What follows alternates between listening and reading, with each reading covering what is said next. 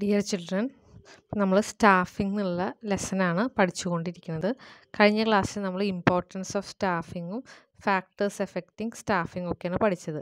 ഇനി നമ്മൾ സ്റ്റാഫിങ്ങിന്റെ ഫങ്ഷൻസാണ് ഇന്ന് നോക്കാൻ പോണത്.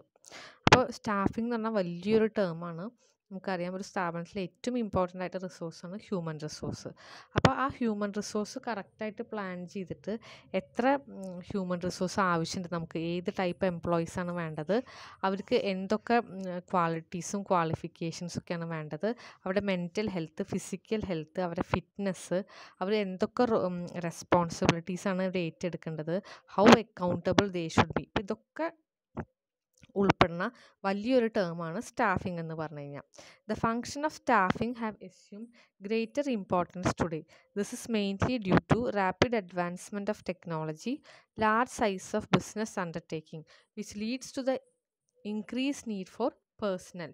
Staffing involves job analysis, manpower planning, recruitment and selection.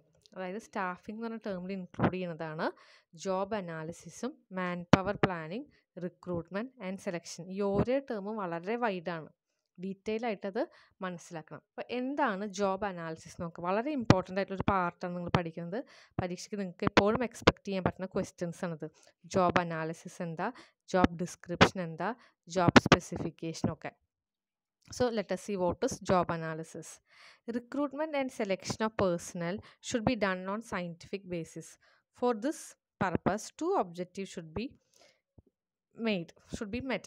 അതായത് റിക്രൂട്ട്മെന്റും സെലക്ഷനും ഒക്കെ സയന്റിഫിക് ആയിട്ടാണ് നമ്മൾ ചെയ്യുക അല്ലേ നമുക്ക് തോന്നിയ പോലെ ആൾക്കാർ നമ്മൾക്ക് ജോലിക്ക് എടുക്കാൻ പറ്റില്ല അതിന് അതിന്റേതായ രീതികളൊക്കെ ഉണ്ട് ആ സ്റ്റെപ്പ് ബൈ സ്റ്റെപ്പ് പ്രോസസ്സിൽ കൂടിയാണ് നമ്മൾ എംപ്ലോയീസിനെ റിക്രൂട്ട് ചെയ്യുക അതിന്റെ മുമ്പ് ഒരു സ്ഥാപനത്തിലെ ജോലിക്ക് ആൾക്കാരെ എടുക്കുന്നതിന് മുമ്പ് നമ്മൾ എന്തൊക്കെ അറിഞ്ഞിരിക്കണം Ett എത്ര ആൾക്കാരെ നമുക്ക് ആവശ്യമുണ്ട് ഏതൊക്കെ തരത്തിലുള്ള ആൾക്കാരെ നമുക്ക് ആവശ്യമുണ്ട് എന്തൊക്കെ ക്വാളിഫിക്കേഷൻസ് അല്ലേ ഒരു ഏതൊരു സ്ഥാപനം? ഇപ്പോൾ ഒരു എഡ്യൂക്കേഷൻ ഇൻസ്റ്റിറ്റ്യൂഷൻ ആയിക്കോട്ടെ അല്ലെങ്കിൽ ഒരു സർവീസ് ഇൻസ്റ്റിറ്റ്യൂഷൻ ആയിക്കോട്ടെ പല തരത്തിലുള്ള ആൾക്കാരാണ് വേണ്ടത്. ഇപ്പോൾ ഒരു നമുക്കറിയാം ഇപ്പോൾ നമ്മുടെ കോളേജിൽ തന്നെ ടീച്ചിങ് സ്റ്റാഫ് ഉണ്ട് നോൺ ടീച്ചിങ് സ്റ്റാഫ് ഉണ്ട് പ്യൂൺ ഉണ്ട് അറ്റൻഡർ ഉണ്ട് സൂപ്പർ ഓഫീസ് സൂപ്രണ്ടന്റ് ഉണ്ട് സ്വീപ്പേഴ്സ് ഉണ്ട് പല തരത്തിലുള്ള പോസ്റ്റ് ഉണ്ട്.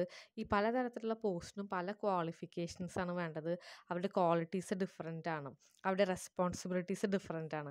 അപ്പോൾ അത് ഒരു ഒരു ടൂറിസം മേഖലയിൽ ഒരു ടൂറിസ്റ്റ് സെന്ററിൽ അവർക്ക് ആവശ്യം ഉണ്ടായിരുന്ന അവിടെ എക്സ്പേർട്സ് ഒരു ഗൈഡ് വേണ്ടി വേണം. അവർക്ക് അവർക്ക് അക്കൗണ്ടന്റിനെ വേണം. അവർക്ക് സ്ഥലങ്ങളെ പറ്റി ഡീറ്റെയിൽ ആയിട്ട് ടൂറിസം പഠിച്ചിട്ടുള്ള ഒരു ബാച്ചിലർ ഓഫ് ടൂറിസം പഠിച്ചിട്ടുള്ള ആൾക്കാരാണ്. അപ്പോൾ പല തരത്തിലുള്ള എംപ്ലോയീസിന് ആവശ്യമുണ്ടാവും അപ്പോൾ ആദ്യത്തെ ഒബ്ജക്റ്റീവാണ് determine quantity of personnel need എത്ര ആൾക്കാരെ ക്വാണ്ടിറ്റി നമ്പർ വേണം. Then determination of kind and quality of personnel need അവർ ഏത് തരത്തിലുള്ള ആൾക്കാരാണ് അവരുടെ ക്വാളിറ്റി എന്താണെന്ന്. അപ്പോൾ ഇത് രണ്ടും അറിഞ്ഞതിന് ശേഷം മാത്രമേ നമുക്ക് റിക്രൂട്ട്മെന്റും സെലക്ഷനും ചെയ്യാൻ പറ്റുള്ളൂ. The first objective is a part of manpower planning and the second objective is dealt in job analysis ഇതിൽ ആദ്യത്തെ ക്വാണ്ടിറ്റി ഓഫ് പേഴ്സൺ റിക്വയർഡ് അത് ഏതിന്റെ ഒരു ഭാഗമാണ്? അത് മാൻ പവർ പ്ലാനിങ്ങിന്റെ ഭാഗമാണ്. രണ്ടാമത്തെ അതെന്താ determination of kind and quality of personage kind and quality അത് വരെ ഇതിലാണ് ജോബ് അനാലിസിസിൽ വേണം വരുന്നതാണ് a thorough job study is necessity to form a basis for selection of right person on the right job ആദ്യം നമ്മൾ എന്ത് ചെയ്യണം? You have to make a thorough study ആ ജോബിനെ പറ്റിയിട്ടുള്ള ഒരു തറോ സ്റ്റഡി നടത്തണം. ഏതൊക്കെ ജോലി ഏതൊക്കെ പൊസിഷൻ ഏതൊക്കെ പൊസിഷൻ പോസ്റ്റിലേക്കാണ് വേക്കൻസി ഇതൊക്കെ നമുക്ക് മനസ്സിലാക്കിയിരിക്കണം. Job study mainly consist of job analysis writing of job description and preparation of job specification job സ്റ്റഡിയിൽ എന്തൊക്കെയുള്ളത് മൂന്ന് കാര്യങ്ങൾ വളരെ ഇമ്പോർട്ടന്റ് ആണ്. ജോബ് അനാലിസിസ് വേണം. അത് കഴിഞ്ഞിട്ട് writing of job description then preparation of job specification ഈ മൂന്ന് ടേമാണ് നമ്മൾ ഡീറ്റെയിൽ ആയിട്ട് പഠിക്കാൻ പോണത്. ജോബ് അനാലിസിസ് പറഞ്ഞാൽ എന്താ? It is a detailed and systematic study of job to know the nature and characteristics of people to be employed in different kinds of job job analysis പറഞ്ഞാൽ ആ ജോബിനെ പറ്റിയിട്ട് വളരെ ഡീറ്റെയിൽ ആയിട്ടും സിസ്റ്റമാറ്റിക് ആയിട്ടും പഠിക്കുക എന്തിനത് പഠിക്കണമെന്ന് അറിയോ ആ ജോലിയുടെ ഓരോ ജോലിയുടെയും നേച്ചർ എന്താണ്? ആ ജോലിക്ക് വേണ്ട ആൾക്കാർക്ക് എന്ത് ക്യാരക്ടറിസ്റ്റിക്സും ഫീച്ചേഴ്സാണ് അവർക്ക് വേണ്ടത് എന്നറിയാൻ വേണ്ടിയിട്ടാണ് ജോബ് അനാലിസിസ് നടത്തുന്നത്. It is a study of qualitative aspect of manpower ഒരു ടീച്ചറെ നമ്മൾ ജോലിക്ക് എടുക്കുമ്പോൾ ആ ടീച്ചർക്ക് എന്തൊക്കെ ക്വാളിറ്റി ഉണ്ടാവണം? ആ ടീച്ചർക്ക് നല്ല സബ്ജക്റ്റ് നോളജ് വേണം നല്ല സൗണ്ട് വേണം ക്ലാസ് കൺട്രോൾ വേണം. കുട്ടികളായിട്ട് നല്ലൊരു റാപ്പോർട്ട് ബിൽഡ് ചെയ്യാൻ പറ്റുന്നതായിരിക്കണം. അല്ലേ? അപ്പോൾ ഇങ്ങനെ പല ക്വാളിറ്റീസ് ആയിരിക്കും പല ജോലിക്കും വേണ്ടിയിട്ട്. അപ്പോൾ ആ ജോലിക്ക് വേണ്ട ആൾക്കാർക്ക് എന്തൊക്കെ ക്വാളിറ്റി വേണം ഡിറ്റർമിൻ ചെയ്യുന്നതാണ് job analysis it according to Edwin B Flippo job analysis is the process of studying and collecting information relating to operations and responsibilities of a specific job job analysis എന്ന് പറഞ്ഞു കഴിഞ്ഞാൽ എന്താണ്? ആ ജോലിയെ പറ്റിയിട്ട് ആ ജോലിയുടെ നേച്ചർ എന്താ? അതിന്റെ ഓപ്പറേഷൻസ് എന്താ? ആ ജോലിയുടെ റെസ്പോൺസിബിലിറ്റീസ് എന്താ? അതിനൊക്കെ പറ്റിയിട്ട് പഠിക്കുക ഇൻഫോർമേഷൻസ് കളക്ട് ചെയ്യുക. It is a process of critically evaluating the operations duties and responsibilities of the job ആ ജോലിയുടെ ഓപ്പറേഷൻസ് എന്താണ്? ഏതൊക്കെ രീതിയാണ്? അത് മനസ്സിലാക്കുക.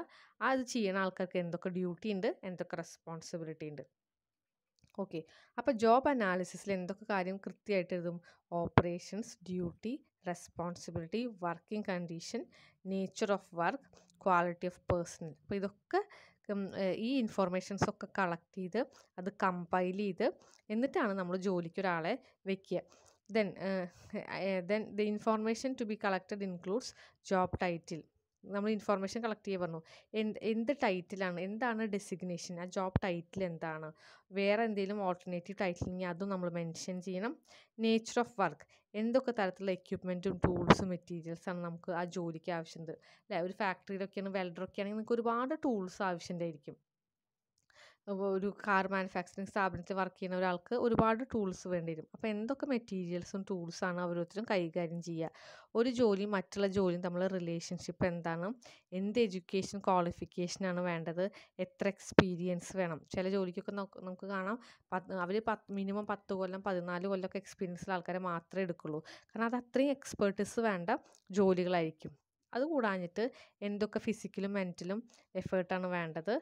Responsibility supervision required. ചില ജോലിക്ക് അധികം സൂപ്പർവിഷൻ ഒന്നും ആവശ്യമുണ്ടാവില്ല. പക്ഷെ ചില ജോലിക്ക് നല്ലോണം സൂപ്പർവിഷൻ ആവശ്യമുണ്ടാവും. അപ്പോൾ അതൊക്കെ മെൻഷൻ ചെയ്യുക. ഇത്തരം ഡാറ്റയൊക്കെ കളക്ട് ചെയ്തതിന് ശേഷം മാ അതിനെയാണ് നമ്മൾ എന്ത് പറയുക ശരിക്കും ജോബ് അനാലിസിസ് എന്ന് പറയുക. ഇനി job analysis process. This is a staff function so personnel department performs in ഈ ജോബ് അനാലിസിസ് നടത്താത്ത മാനുഫാക്ചറിങ് ഡിപ്പാർട്ട്മെന്റോ പ്രൊഡക്ഷൻ ഡിപ്പാർട്ട്മെന്റോ ഒന്നുമല്ല എച്ച് ആർ ഡിപ്പാർട്ട്മെന്റാണ് ഈ ജോബ് അനാലിസിസ് നടത്തുക. അത് അതിൽ ഈ താഴെ പറയുന്ന സ്റ്റെപ്സ് ഒക്കെ ഉണ്ട്. കളക്ഷൻ ഓഫ് ആക്ച്വൽ ഇൻഫോർമേഷൻ അതായത് ഓരോ ജോലിക്കും വേണ്ട എന്തൊക്കെ കാര്യങ്ങൾ ഡീറ്റെയിൽസ് കളക്ട് ചെയ്യുക. അതിനെ പറ്റിയുള്ള ഇൻഫോർമേഷൻ കളക്ട് ചെയ്യുക. ആ ഇൻഫോർമേഷൻ കളക്ട് ചെയ്യാൻ വേണ്ടിയിട്ട് നിങ്ങൾക്ക് ആ സ്ഥാപനത്തിൽ തന്നെ ജോലി ചെയ്യുന്ന ആൾക്കാർക്ക് ക്വസ്റ്റനെയർ കൊടുക്കാം. അവർക്കൊരു ചെക്ക് ലിസ്റ്റ് കൊടുക്കാം. നിങ്ങൾ ഈ താഴെ പറഞ്ഞ ജോലിയൊക്കെ ചെയ്യുന്നുണ്ടോ എന്നുള്ളത്. ഓക്കെ. അതായത് എച്ച് ആർ ഡിപ്പാർട്ട്മെന്റിന് ജോലിയെ പറ്റി അനാലിസിസ് ചെയ്യണമെങ്കിൽ ഓരോരോ സെക്ഷൻ ഇപ്പോൾ നമ്മുടെ സ്ഥാപനത്തിൽ പല സെക്ഷനിലും അല്ലെങ്കിൽ നമ്മൾ പുതിയതായിട്ടൊരു സ്ഥാപനം തുടങ്ങാൻ പോവുകയാണ് ഓക്കെ. അപ്പം നമുക്ക് പല പോസ്റ്റിലേക്കുള്ള ആൾക്കാരെ വേണ്ടി വരും. അപ്പോൾ നമ്മുടെ എച്ച് ആർ ഡിപ്പാർട്ട്മെന്റ് ആദ്യം തന്നെ ഒരു ജോബ് അനാലിസിസ് നടത്തുകയാണ് അപ്പോൾ ഒരു എക്സിസ്റ്റിംഗ് സ്ഥാപനത്തിൽ ഏറ്റവും പോയിട്ട് അവിടുത്തെ ആൾക്കാരോട് ചോദിക്കണം. അവിടുത്തെ എംപ്ലോയീസിനോട് ഒരു ക്വസ്റ്റനെയർ കൊടുത്തു കഴിഞ്ഞാൽ അവരൊക്കെ ടിക്കറ്റ് തരും. എന്തൊക്കെയാണ് അവരുടെ ജോലി അവരുടെ ഉത്തരവാദിത്തം എന്നുള്ളത്. അല്ലെങ്കിൽ ചെക്ക് ലിസ്റ്റ് കൊടുത്തിട്ട് അവരോട് നോക്കാൻ പറയും. നിങ്ങൾ ഇതിൽ ഏതൊക്കെ ജോലി ചെയ്യുന്നുണ്ടെന്നുള്ളത് അല്ലെങ്കിൽ ഇന്റർവ്യൂ നടത്താം. അല്ലെങ്കിൽ ഒബ്സർവേഷനൊക്കെ നടത്താം. ഇതൊക്കെ നടത്തിയിട്ടാണ് നമ്മൾ ജോബ് അനാലിസിസ് ചെയ്യുക. ദെൻ ജോബ്സ് ഫിസിക്കൽ എൻവയോൺമെന്റ് അല്ലേ ഒരു ഫാക്ടറിക്ക് ആണെങ്കിൽ അവിടുത്തെ ടെമ്പറേച്ചർ എന്തായിരിക്കും? നോയ്സ് കംഫർട്ട് ഡേഞ്ചർ ഇതിനൊക്കെ പറ്റി ഡീറ്റെയിൽ ആയിട്ട് പഠിക്കണം. സോഷ്യൽ എൻവയോൺമെന്റ് ഈ ജോലി ആൾക്കാർ ടീമായിട്ടാണോ ചെയ്യുക? നൈറ്റ് ഷിഫ്റ്റ് ആണോ? ഒറ്റയ്ക്കാണോ? അപ്പോൾ അത് ചെയ്യുമ്പോൾ ഉള്ള ആ സോഷ്യൽ എൻവയോൺമെന്റ് അതിനെപ്പറ്റിയും പഠിക്കണം. Financial condition. ഒരേ ജോലിയുടെയും എന്തായിരിക്കും? അവരുടെ സാലറിയും ബോണസൊക്കെ ഡിഫറെന്റ് ആയിരിക്കും അപ്പോൾ അതൊക്കെ ഇന്നിപ്പോൾ ഇൻഡസ്ട്രിയിൽ തുല്യമായിട്ട് മറ്റുള്ള സ്ഥാപനം എത്രയാണോ വേജും സാലറി ഒക്കെ കൊടുക്കുന്നത് ബോണസൊക്കെ കൊടുക്കുന്നത് അതിനെപ്പറ്റി ഒരു ധാരണ വേണം. ഫ്രിഞ്ച് ബെനിഫിറ്റ്സ് എന്ന് പറഞ്ഞാൽ സാലറി കാശല്ലാണ്ട് അഡീഷണൽ ആയിട്ട് കൊടുക്കണ ബെനിഫിറ്റ്സ് ഒക്കെ ഉണ്ടാവില്ല? ഇപ്പോൾ മെഡിക്കൽ ബെനിഫിറ്റ്സ് കാറ് കൊടുക്കും അതിനൊക്കെ പെർക്വിസിറ്റ്സ് എന്നൊക്കെ പറയാം. അപ്പോൾ മറ്റുള്ള സ്ഥാപനങ്ങളൊക്കെ എത്രയൊക്കെ വേജും ബോണസും സാലറിയൊക്കെ കൊടുക്കണം അതിനെ ഒരു ധാരണ ഉണ്ടാവണം. Then information relating to the qualities of person who perform the job ഈ ഓരോ ജോലിയും ചെയ്യുന്ന ആൾക്കാർക്ക് എന്തൊക്കെ ക്വാളിറ്റീസ് വേണം? ഒരു ഇമോഷണൽ ബാലൻസും ഇല്ലാത്ത ആളിനെ പിടിച്ചിട്ട് നമ്മൾ നമ്മുടെ മാനേജർ ആക്കി കഴിഞ്ഞാൽ അല്ലെങ്കിൽ ലീഡർ ആക്കി കഴിഞ്ഞാൽ അയാൾക്ക് മറ്റുള്ള എല്ലാവരുമായിട്ട് നന്നായിട്ട് ജോലി കൊണ്ട് നടക്കാൻ പറ്റുമോ ഇല്ല. എന്ത് പറഞ്ഞാലും അപ്പോഴേക്കും പൊട്ടിത്തെറിക്കുക ഭയങ്കരമായിട്ട് ചൂടാവുക ആൾക്കാരായിട്ട് ഒരു റിലേഷൻഷിപ്പ് മെയിന്റെയിൻ ചെയ്യാൻ പറ്റാത്ത ആളാണെങ്കിൽ അത്തരം ആൾക്കാരിനെ നമ്മൾ ടോപ്പ് പൊസിഷനിൽ കൊണ്ടുവച്ച് കഴിഞ്ഞാൽ ആ സ്ഥാപനം നന്നായിട്ട് റൺ ചെയ്യില്ല. അപ്പോൾ അവർക്ക് വേണ്ട ക്വാളിറ്റീസൊക്കെ ഡിഫൈൻ ചെയ്യണം. Then preparation of job description after collection ഇൻഫ് collecting information a statement showing full details of the activities of job is to be prepared നമ്മൾ ആദ്യം പറഞ്ഞത് ജോബ് അനാലിസിസ് ചെയ്യുന്നതാണ്. ജോബ് അനാലിസിസ് ചെയ്തിട്ട് അതിനുശേഷം കിട്ടിയ കാര്യങ്ങളൊക്കെ എല്ലാം കൂടി എന്ത് ചെയ്യണം? ഒരു സ്റ്റേറ്റ്മെന്റിൽ ഉൾക്കൊള്ളിച്ചുകൊണ്ട് പ്രിപ്പയർ ചെയ്യണം. അതാണ് job description the job analysis is done with the help of job description ഇതിന്റെ സഹായത്തോടു കൂടിയിട്ട് തന്നെയാണ് നമ്മൾ ജോബ് അനാലിസിസും ചെയ്യുക then preparation of job specification it is also prepared along with job description it is a statement of minimum acceptable qualities of person to be placed on a job job സ്പെസിഫിക്കേഷനിൽ പറയും ഇന്ന ജോലിക്ക് ഇന്ന ക്വാളിറ്റിയുള്ള ആൾക്കാർ ഇന്ന education ഇതുള്ള ആൾക്കാർ അങ്ങനെ ഓരോന്നും സ്പെസിഫൈ ചെയ്തിട്ട് പറയണം.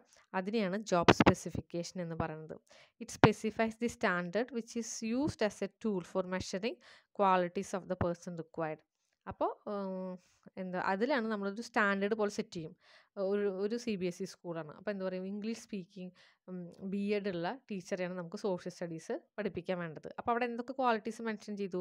സോഷ്യൽ സ്റ്റഡീസ് പഠിപ്പിക്കാൻ വേണ്ടിയിട്ട് ബി എ എക്കണോമിക്സോ സോഷ്യൽ സ്റ്റഡീസ് സബ്ജക്റ്റ് ഡിഗ്രി ഗ്രാജുവേഷനും പോസ്റ്റ് ഗ്രാജുവേഷനുള്ള ടീച്ചറാണ് വേണ്ടത്. ഇംഗ്ലീഷ് സ്പീക്കിംഗ് ടീച്ചറാണ് വേണ്ടത്. അപ്പോൾ അവരങ്ങനെ സ്പെസിഫൈ ചെയ്യും ഇന്ന കാര്യമാണ് വേണ്ടത് എന്നുള്ളത്. നിങ്ങളൊരു പ്രൊജക്ട് മാനേജറിനെ എടുക്കുന്നത് a person who have completed B tech or M tech with fourteen years of experience is required for this job എന്ന് പറയുമ്പോൾ അവിടെ സ്പെസിഫൈ ചെയ്തു. അതായത് പ്രൊജക്ട് മാനേജർ ആവാൻ പതിനാല് കൊല്ലം എക്സ്പീരിയൻസ് ഉള്ള ബി ടെക്കോ എം ടെക്കുമായിട്ടുള്ള ബിരുദധാരിയായിട്ടുള്ള ആൾക്കാരനെയാണ് ഞങ്ങൾക്ക് വേണ്ടത്. അപ്പോൾ അതാണ് job specification then job analyst prepare job specification after considering the skills required to perform the job അപ്പോൾ ജോബ് അനലിസ്റ്റാണ് എന്ത് പ്രിപ്പയർ ചെയ്യുക ജോബ് സ്പെസിഫിക്കേഷൻ പ്രിപ്പയർ ചെയ്യുക ആ സ്കില്ല് എന്തൊക്കെയാണ് വേണ്ടത് നോക്കിയിട്ട് അദ്ദേഹമാണ് ജോബ് സ്പെസിഫിക്കേഷൻ എഴുതുക okay then report preparation job analyst analyses the collected information he analyse full details of activities of job and qualities of the person place in the job he prepare a report present it in front of supervisor or personnel manager for suggestion after obtaining suggestion he prepares the original report അപ്പോൾ job analyst നമ്മൾ നേരത്തെ പറഞ്ഞ പോലെ ഈ informations ഒക്കെ collect ചെയ്ത് ഇന്ന ജോലിക്ക് എന്തൊക്കെ ക്വാളിറ്റീസാണ് വേണ്ടത് എന്നൊക്കെ എഴുതി ഉണ്ടാക്കി ആ ഒരു റിപ്പോർട്ട് സൂപ്പർവൈസർക്ക് അല്ലെങ്കിൽ അയാളുടെ മേ മുകളിലുള്ള പേഴ്സണൽ മാനേജർക്ക് കാണിച്ചു കൊടുത്ത് അവരുടെ സജഷനും കൂടി എടുത്തതിന് ശേഷമാണ് ഒറിജിനൽ ആയിട്ടുള്ള റിപ്പോർട്ട് ഉണ്ടാക്കുക then approval of the report the original report is submitted to personal manager to get approval. After getting approval, it is submitted to top executive. Trade union representatives' opinion must be considered while drafting the report. Amendments can be made in the report if there is any suggestion forwarded by trade union. അപ്പോൾ ഈ report ഉണ്ടാക്കിയതിന് ശേഷം personal മാനേജർക്ക് കൊടുക്കും അപ്രൂവലിനായിട്ട്. എന്നിട്ട് approval കിട്ടിക്കഴിഞ്ഞാൽ top executive അതിന് മുകളിലുള്ള ആൾക്കാർക്ക് പോവും. ഇനി നമ്മൾ ജോബ് സ്പെസിഫിക്കേഷനൊക്കെ എഴുതുമ്പോൾ നമുക്ക് ട്രേഡ് യൂണിയന്റെ ലീഡേഴ്സിന്റെ അഭിപ്രായമൊക്കെ ചോദിക്കാം. ഇനി അവർക്ക് എന്തെങ്കിലും സജഷനൊക്കെ ഉണ്ടെങ്കിൽ ആ സജഷനും കൂടി ഈ റിപ്പോർട്ടിനകത്ത് ഉൾക്കൊള്ളിച്ചുകൊണ്ടാണ് ഫൈനൽ റിപ്പോർട്ട് ഉണ്ടാക്കുക. അടുത്ത heading uses or significance of of job analysis ഇങ്ങനെ ജോബ് അനാലിസിസ് ഉണ്ടാക്കുന്നുണ്ട് എന്താണ് ഗുണം? ഒരു സ്ഥാപനത്തിനും അല്ലെങ്കിൽ അവിടുത്തെ എംപ്ലോയീസിന് എന്താ ഗുണം? Job analysis provides complete knowledge about the job ആ ജോലിയെ പറ്റിയിട്ട് കൃത്യമായിട്ടുള്ള എല്ലാ ഡീറ്റെയിൽസും മൈന്യൂട്ട് ഡീറ്റെയിൽസും അറിയാൻ പറ്റും. Manager or executive do not always have educate knowledge about job even though they are working in the same direction അപ്പോൾ കൃത്യ ഈ അനാലിസിസ് ഉണ്ടാക്കി വെച്ച് കഴിഞ്ഞ് കഴിഞ്ഞാൽ നമുക്ക് പറയാൻ പറ്റും. നമ്മൾ എക്സ് ഇന്ന ഒരു റോളിൽ ഒരാളിനെ ജോലിക്ക് എടുത്താൽ നിങ്ങൾ ഇന്ന കാര്യം ചെയ്യണം. ഇതാണ് ഇവിടുത്തെ സ്റ്റാൻഡേർഡ്. അപ്പോൾ നമുക്ക് അയാളോട് ഡിമാൻഡ് ചെയ്യാൻ പറ്റും. നിങ്ങൾ ഇങ്ങനെയൊക്കെ വർക്ക് ചെയ്യണം. ഇത്തരം റെസ്പോൺസിബിലിറ്റീസ് നിങ്ങൾക്കുണ്ട്. ഇതൊക്കെ അവിടെ എഴുതി വെച്ചിട്ടുണ്ട്. ഈ ജോലിയിൽ എന്തെങ്കിലും റെസ്പോൺസിബിലിറ്റി നിങ്ങൾ ഏറ്റെടുക്കുന്നില്ലെങ്കിൽ നമുക്ക് അയാളെ പണീഷ് ചെയ്യുക എന്താ ചെയ്യാം. അല്ലെങ്കിൽ നമ്മൾ സ്റ്റാൻഡേർഡിനെക്കാളും നന്നായി വർക്ക് ചെയ്യുന്ന ആൾക്കാ ആൾക്കാരാണെങ്കിൽ നമുക്ക് പെട്ടെന്ന് അവർക്ക് പ്രൊമോഷൻ കൊടുക്കാനും പറ്റും. It is the first step in selection technique process. It helps to know the personal traits and characteristics required for performing the job. It helps to design application form, type of psychological test, the plan of procedures to be covered in interviewing applica applicants. അപ്പോൾ ഈ job analysis ചെയ്ത് വെച്ചിട്ടുണ്ടെങ്കിൽ job ഡിസ്ക്രിപ്ഷനൊക്കെ എഴുതി കഴിഞ്ഞാൽ നമുക്ക് ആൾക്കാരെ interview ചെയ്യുമ്പോൾ എളുപ്പമാണ് കാരണം ഇന്ന ജോലിക്ക് ഇന്ന ക്വാളിഫിക്കേഷൻ അവർക്ക് ഇത്തരം ക്വാളിറ്റിയാണ് വേണ്ടത് ഇന്ന ആറ്റിറ്റ്യൂഡാണ് വേണ്ടത്. അപ്പോൾ ഇതനുസരിച്ച് നമുക്ക് അവരോട് ചോദ്യം ചോദിക്കാൻ പറ്റും. സൈക്കോളജിക്കൽ ടെസ്റ്റൊക്കെ അപ്ലൈ ചെയ്യാൻ പറ്റും. അപ്പോൾ നമുക്ക് ഇന്റർവ്യൂ കുറച്ചും കൂടി എളുപ്പമാണ് കാരണം ഇതാണ് ഞങ്ങളുടെ സ്റ്റാൻഡേർഡ് അപ്പോൾ നിങ്ങളൊരു ഇന്റർവ്യൂവിന് പോയി കഴിഞ്ഞാൽ നിങ്ങളോട് ചോദിക്കുന്ന പല ചോദ്യത്തിൽ നിന്ന് തന്നെ അവർ നിങ്ങൾക്ക് ഈ പറഞ്ഞ ക്വാളിറ്റീസൊക്കെ ഉണ്ടോ എന്ന് മെഷർ ചെയ്യും. Okay it gives complete picture about job it is a useful technique for job evaluation അപ്പോൾ നിങ്ങൾ കൃത്യമായിട്ട് നിങ്ങളുടെ ജോലി ചെയ്യുന്നുണ്ടോ? നിങ്ങളെ ഇവാലുവേറ്റ് ചെയ്യാൻ മാനേജ്മെന്റ് എന്ത് ഉപയോഗിക്കാം? ഇത്തരത്തിൽ പ്രിപ്പയർ ചെയ്ത് വെച്ചിട്ടുള്ള ജോബ് അനാലിസിസും ജോബ് സ്പെസിഫിക്കേഷനും ഉപയോഗിച്ചിട്ട് നിങ്ങളെന്നെ അവർക്ക് എളുപ്പത്തിൽ ഇവാലുവേറ്റ് ചെയ്യാം. പറഞ്ഞ ജോലിയൊക്കെ നിങ്ങൾ ചെയ്യണ്ടോ പറഞ്ഞ റെസ്പോൺസിബിലിറ്റീസും ഡ്യൂട്ടീസും നിങ്ങൾ ചെയ്യണ്ടോ ഓപ്പറേഷൻസ് ഒക്കെ കൃത്യമായി ചെയ്യണ്ടോ ഒക്കെ മെഷർ ചെയ്യാൻ പറ്റും.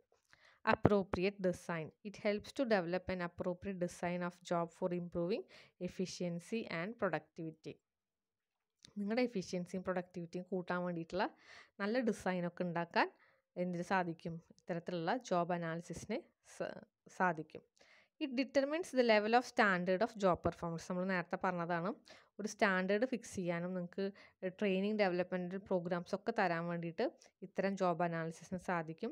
It facilitate comparison when an employee is to be promote job analysis facilitate comparison with the present jobs responsibility and future job responsibility okay ഈ ജോബ് അനാലിസിസ് പോലെ നിങ്ങൾ വർക്ക് ചെയ്യേണ്ടത് നല്ല ഉത്തരവാദിത്തത്തോടു കൂടി വർക്ക് ചെയ്യുന്ന ആളാണെങ്കിൽ നിങ്ങൾക്ക് പ്രൊമോഷൻ തരാൻ പറ്റും. അപ്പോൾ ഇപ്പോൾ നിങ്ങളുടെ ജോലിയുടെ റെസ്പോൺസിബിലിറ്റി എന്താ? പ്രൊമോഷൻ കിട്ടി പറഞ്ഞാൽ എന്താ അർത്ഥം? നിങ്ങളുടെ ഉത്തരവാദിത്തം കൂടി എന്നർത്ഥം പ്രൊമോഷൻ കിട്ടുക പറഞ്ഞാൽ ശമ്പളം മാത്രമല്ല കൂടുക. അതിനനുസരിച്ച് ഉത്തരവാദിത്തം കൂടും. അപ്പോൾ ഇതൊക്കെ കൃത്യമായിട്ട് കമ്പയർ ചെയ്യാനും മനസ്സിലാക്കാനും സാധിക്കും. It is useful for job appraisal ഓരോ ആൾക്കാരും അവരവരുടെ ജോലി എങ്ങനെയാണ് ചെയ്യണത്? അത് അസസ് ചെയ്യാൻ പറ്റും. അവർ പറഞ്ഞ കാര്യങ്ങൾ കൃത്യമായി ചെയ്യുന്നുണ്ടോ?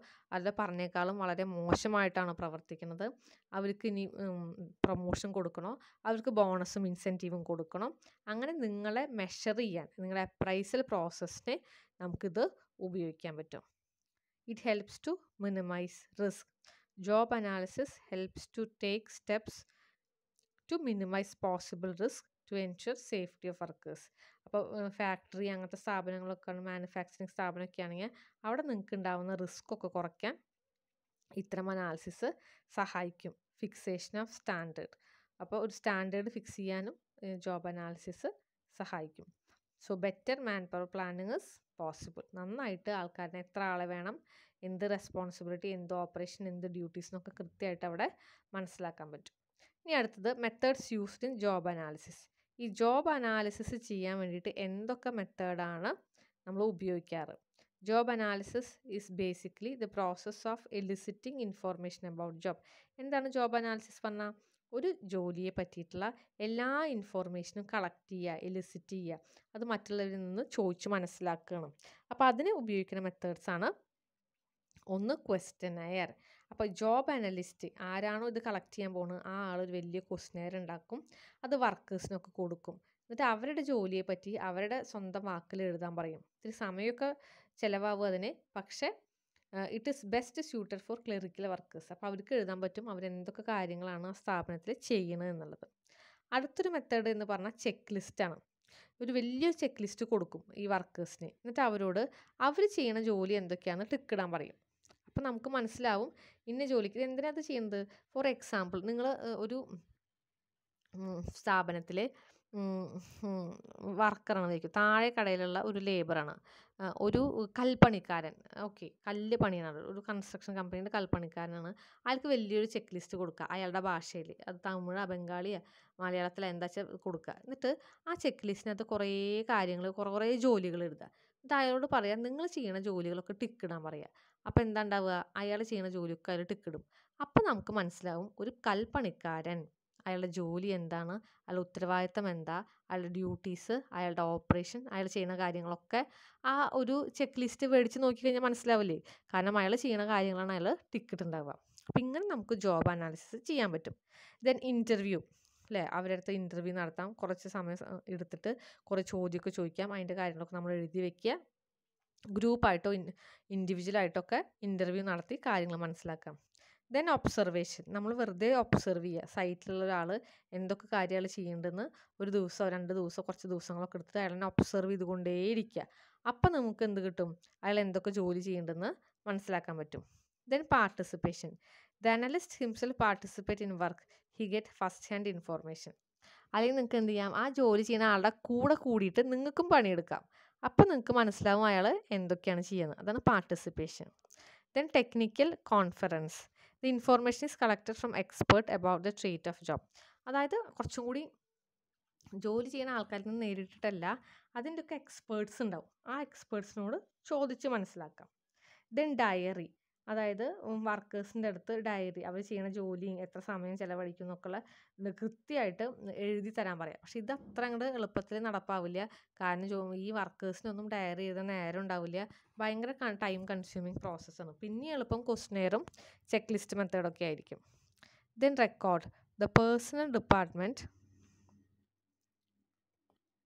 maintains the record of jobs and job doers the job analyst collect information from this record എല്ലാ സ്ഥാപനത്തിനും ഇപ്പോൾ എച്ച് ആർ ഡിപ്പാർട്ട്മെന്റ് ഈ ജോബിനെയൊക്കെ പറ്റിയുള്ള റെക്കോർഡ് സൂക്ഷിക്കുമല്ലോ ആരൊക്കെ എന്തൊക്കെ ജോലി ചെയ്യേണ്ടതെന്ന് ആ എച്ച് ആർ ഡിപ്പാർട്ട്മെന്റിൽ പോയിട്ട് നമുക്ക് ഈ ജോലിയുടെ കാര്യങ്ങളൊക്കെ ചോദിച്ച് മനസ്സിലാക്കാം. അതാണ് വേറൊരു മെത്തേഡ് അപ്പോൾ ഓരോ മെത്തേഡിനും അതിന്റേതായ ദോഷങ്ങളും ഗുണങ്ങളും ഉണ്ട്. നമുക്ക് കൺവീനിയൻസും കാശ് കുറവുള്ള മെത്തേഡ് ഏതാ വെച്ചാൽ അത് നോക്കിയിട്ട് നമുക്ക് സെലക്ട് ചെയ്യാം. അപ്പോൾ ജോബ് അനാലിസിസ് കഴിഞ്ഞത്. ഇനി ജോബ് ഡിസ്ക്രിപ്ഷൻ ആണ്. The result of job analysis is written in a statement known as job description നേരത്തെ നടത്തിയ അനാലിസിസ് ഒക്കെ നിങ്ങൾ സ്റ്റേറ്റ്മെന്റിൽ എഴുതി കഴിഞ്ഞാൽ അതെന്തായി? ജോബ് ഡിസ്ക്രിപ്ഷനായി അപ്പോൾ അനാലിസിസിൽ നമ്മൾ മെയിനായിട്ട് കാര്യങ്ങളൊക്കെ കളക്ട് ചെയ്ത് മനസ്സിലാക്കി എഴുതി പല രീതിയിലും ജോബിനെ പറ്റിയിട്ടുള്ള കാര്യങ്ങളൊക്കെ നമ്മൾ എഴുതി മനസ്സിലാക്കണു. എന്നിട്ട് ഇതൊക്കെ കമ്പൈൽ ചെയ്തിട്ട് നിങ്ങൾ സ്റ്റേറ്റ്മെന്റിൽ എഴുതിയ job ഡിസ്ക്രിപ്ഷനായി it is a descriptive statement of the organisation relationship responsibilities and duties According to Edwin B. Flippo, the first and immediate product of the job analysis is job description. അതായത് job അനാലിസിസിന്റെ ആദ്യത്തെ product എന്ന് പറയുന്നത് പിന്നെന്താണ് job ഡിസ്ക്രിപ്ഷനാണ് okay ഇനി contents അപ്പോൾ job description എന്തൊക്കെയാണ് ഉണ്ടാവുക? ജോബ് ലൊക്കേഷൻ ഉണ്ടാവും. എവിടെയാണ് ഈ ജോലി? ഏത് ഡിപ്പാർട്ട്മെന്റ് ഏത് ബ്രാഞ്ച് ഏത് ഡിവിഷനിലാണ് ഉള്ളതെന്നുണ്ടാവും ടൈറ്റിൽ ഓഫ് ജോബ് ഓരോ ജോലിക്ക് ഓരോ ഡെസിഗ്നേഷൻ ഓരോ ടൈറ്റിലല്ലേ അത് അവിടെ മെൻഷൻ ചെയ്തിട്ടുണ്ടാവും. Summary of the job primary duties എന്താ? അയാളുടെ സെക്കൻഡറി ഡ്യൂട്ടീസ് എന്താ? അതൊക്കെ കൃത്യമായിട്ട് സമ്മറി ജോലിയിൽ എന്തൊക്കെയാണ് ഉദ്ദേശിക്കുന്നതുണ്ടാവും അയാളുടെ ഡ്യൂട്ടീസും റെസ്പോൺസിബിലിറ്റീസും മെൻഷൻ ചെയ്തിട്ടുണ്ടാവും. ഡിഗ്രി ഓഫ് സൂപ്പർവിഷൻ ചില ജോലിക്ക് നല്ല സൂപ്പർവിഷൻ നമുക്ക് വേണ്ടി വരും. അപ്പോൾ അത് കൃത്യമായിട്ട് മെൻഷൻ ചെയ്തിട്ടുണ്ടാവും. എന്ത് എക്യുപ്മെന്റ്സും ടൂൾസാണ് വേണ്ടത് ഈ ജോലി ചെയ്യാൻ? മെഷീൻസൊക്കെ ആവശ്യമുള്ളത്. അതിനെപ്പറ്റി ഡിസ്ക്രിപ്ഷൻ ഉണ്ടാവും. ഈ ജോലി മറ്റുള്ള ജോലിയും മറ്റുള്ള ഡിപ്പാർട്ട്മെന്റ് തമ്മിലുള്ള ഇവരുടെ ബന്ധങ്ങളും അതിനകത്ത് സൂചിപ്പിച്ചിട്ടുണ്ടാവും. പിന്നെ ചെറിയ ഡിസ്ക്രിപ്ഷൻ എന്തിനാണ് ഈ ജോലി ചെയ്യുന്നത്? Overall purpose of the job അത് മെൻഷൻ ചെയ്തിട്ടുണ്ടാകും. Order the main task to be perform by job holder written chronological order നിങ്ങൾ ജോലി ഏത് ഓർഡറിലാണ് ചെയ്യേണ്ടത് എന്നുള്ളത് എഴുതിയിട്ടുണ്ടാവും. ഫിസിക്കൽ കണ്ടീഷൻ എൻവയോൺമെന്റൽ കണ്ടീഷനാണ് അത് ഏത് സന്ദർഭത്തിലാണ് നമ്മൾ ഈ ജോലി പെർഫോം ചെയ്യുക എന്നുള്ളത് ആ ഫിസിക്കൽ കണ്ടീഷനും. അപ്പോൾ ഇത്രയും കാര്യങ്ങളാണ് ജോബ് ഡിസ്ക്രിപ്ഷനിൽ ഉണ്ടാവുക. അതിന്റെ ക്യാരക്ടറിസ്റ്റിക്സ് പറഞ്ഞാൽ അതിനൊരു പ്രോപ്പർ ടൈറ്റിൽ ഉണ്ടാവും. അപ് ടു ഡേറ്റ് ആയിരിക്കും. ഓരോ ആൾക്കാരുടെയും ഓരോ ജോലിയുടെയും ഡ്യൂട്ടിയും റെസ്പോൺസിബിലിറ്റിയും കൃത്യമായി മെൻഷൻ ചെയ്തിട്ടുണ്ടാവും. ഡിസ്ക്രിപ്റ്റീവ് ആണ്. Job specification is to be indicated it is easily understandable contribution of each job is also given ഓരോ ജോലി നമുക്ക് എന്ത് പ്രൊഡക്ടിവിറ്റിയാണ് തരിക എന്നുള്ളതും അതിനകത്ത് എഴുതിയിട്ടുണ്ടാവും. എല്ലാ ആൾക്കാർക്കും ജോബ് ഡിസ്ക്രിപ്ഷൻ എന്താണെന്ന് മനസ്സിലാക്കിയിരിക്കണം. Qualification needed to perform job is also written ഓരോ ആൾക്കാരും എന്ത് ക്വാളിഫിക്കേഷനാണ് വേണ്ടതെന്നുള്ളതും എഴുതിയിരിക്കണം. നമ്മൾ രണ്ട് ടേം പഠിച്ചു. ജോബ് അനാലിസിസും പഠിച്ചു. ജോബ് ഡിസ്ക്രിപ്ഷനും പഠിച്ചു. അടുത്ത് ഇതിൽ വരുന്ന ഒരു വേറെ ടേമാണ് job specification it is also a product of job analysis it is a statement of maximum acceptable human qualities necessary to perform job satisfactorily അതായത് എന്ത് ഹ്യൂമൻ ക്വാളിറ്റിയാണ് നമുക്കൊരു ജോലി ചെയ്യാൻ വേണ്ടത് എന്നുള്ളതാണ് job സ്പെസിഫിക്കേഷനിലുള്ളത് it is a statement which shows a summary of personal requirement for a job. It specifies the type of person required in terms of qualification, experience, aptitude, age.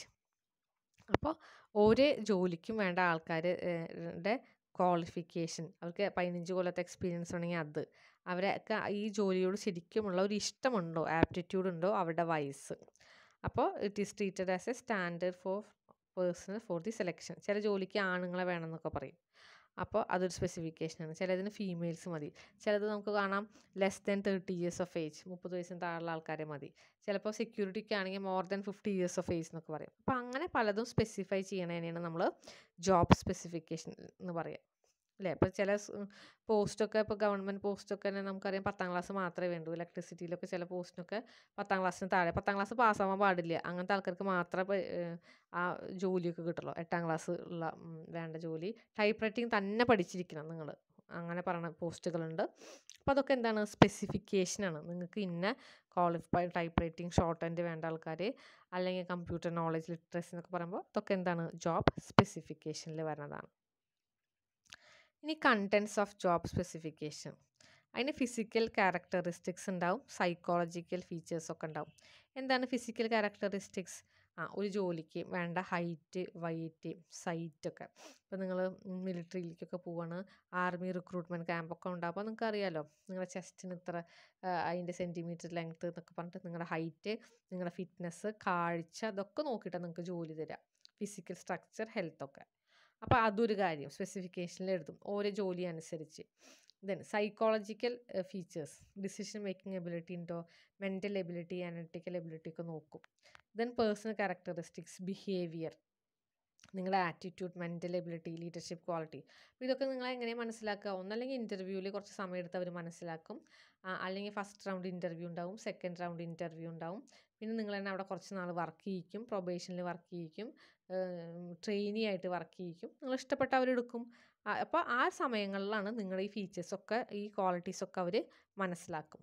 Then responsibility a person sense of responsibility towards job is clearly defined പിന്നെ education qualification experience training should be included ഇത്രയും കാര്യം include ചെയ്തിട്ടാണ് job specification ഉണ്ടാക്കുക.